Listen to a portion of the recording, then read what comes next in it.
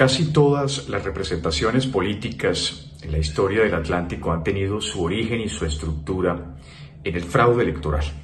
Es la compra de votos la forma como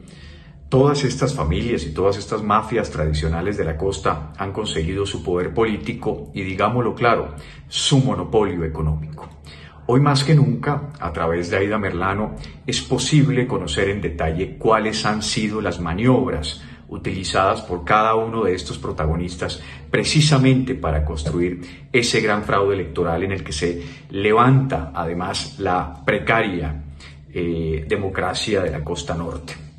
En ese sentido, me parece importante la declaración de Aida Merlano en la Corte porque revelará precisamente cada una de las estrategias, intervenciones de políticos, de familias tradicionales y fundamentalmente empresas y la contratación estatal puesta a disposición de esta mafia electoral.